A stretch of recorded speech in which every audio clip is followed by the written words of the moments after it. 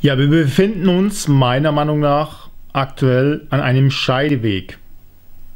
Ja, die Bärenrallye ist relativ weit fortgeschritten. Ich würde mal sagen, dass wir bei der Bärenrallye so ziemlich das äußerste Ausmaß gesehen haben. Vielleicht noch ja, ähm, kleine Teile, noch 10, 20 Prozent. Ähm, prozentual von der gesamten Bärenrallye, dass wir vielleicht noch zulegen könnten, theoretisch bis 10.500 Punkte. Das sage ich ja schon seit zwei Wochen.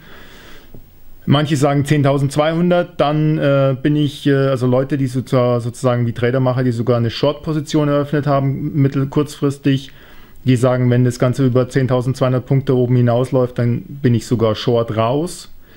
Ist vielleicht auch intelligent.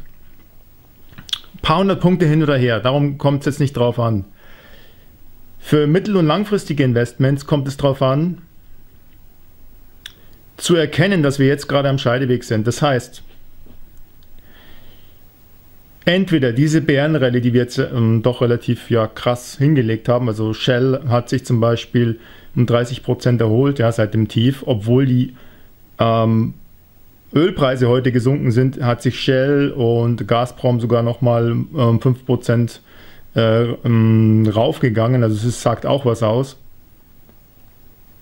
Entweder diese Bärenrallye hat jetzt Substanz oder es ist sogenanntes Dead, Dead Cat Bounce. Das heißt, es geht nochmal saftig bergab. Was natürlich auch passieren kann, dass wir jetzt erstmal so ein bisschen dahin dümpeln, seitwärts, bis dass es einfach wieder neue Impulse gibt. Wie, wie dem auch sei. Das folgende Szenario, das Top-Szenario wäre, dass wir jetzt einfach, äh, das, das sozusagen, das war's mit der Krise und wir gehen jetzt seitwärts oder dann langsam wieder nach oben und wir sehen irgendwann mal wieder neue Allzeithochs, sagen wir mal in sechs Monaten, zwölf Monaten, zwei Jahren, drei Jahren. Dann haben all diejenigen, die jetzt fleißig nachgekauft haben, top. Ich freue mich für euch, wirklich. Ich bin nicht neidisch, ähm, dass ich nicht zu 100% äh, nachgekauft habe. Wie ihr wisst, habe ich mich sehr verhalten. Es hat verschiedene Gründe. Ja, und äh, die ich auch schon in verschiedenen Videos äh, eruiert habe. Ich bin lieber flexibler, flüssiger. Ne? Deswegen der hohe Cash-Anteil auf jeden Fall. Das zweite Szenario wäre, dass wir, dass es ein Dead Cat Bounce ist, dass wir nochmal tiefere Tiefs sehen werden im DAX etc. pp, Nasdaq, S&P und so weiter. Und dann wird sich eben entscheiden und dann werden ganz viele, einige werden dann ihre Positionen, die werden die Nerven haben, ihre Positionen halten können, die sie jetzt sozusagen wieder neu eröffnet haben in dieser, in Phase dieser Bärenrallye. Aber einige werden es nicht aushalten und die werden dann wieder zum falschen Zeitpunkt verkaufen. Und meiner Meinung nach wird es da einige wieder da bräseln, weil wir sind jetzt wieder auf 10.000 Punkte, 10.050 oder sowas aktuell. Und tiefere Tiefs würde bedeuten, dass wir unter 8000 gehen.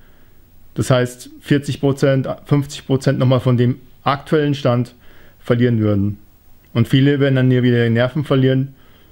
Aus unterschiedlichen Gründen. Nicht nur, weil sie nervenschwach sind, sondern weil sie einfach Obligationen haben.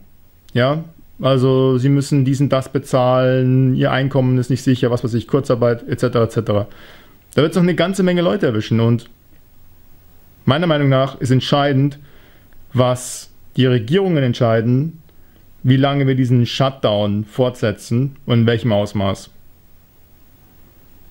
Ich denke auch, dass ähm, andere Länder, die, was die machen, dass es auch indirekt sehr stark auf uns Einfluss haben könnte.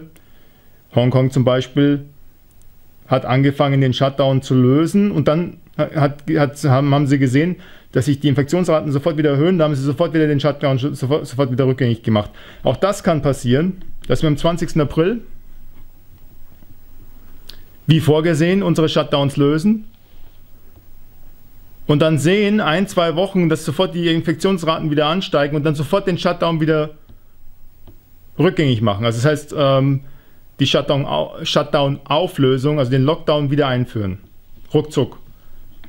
Und dann würden auch die Börsen wieder entsprechend darauf negativ reagieren und zwar schlagartig.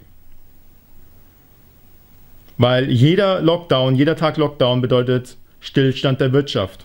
Und zwar im großen Ausmaß. Und Ganz viele Leute, die subventioniert werden müssen.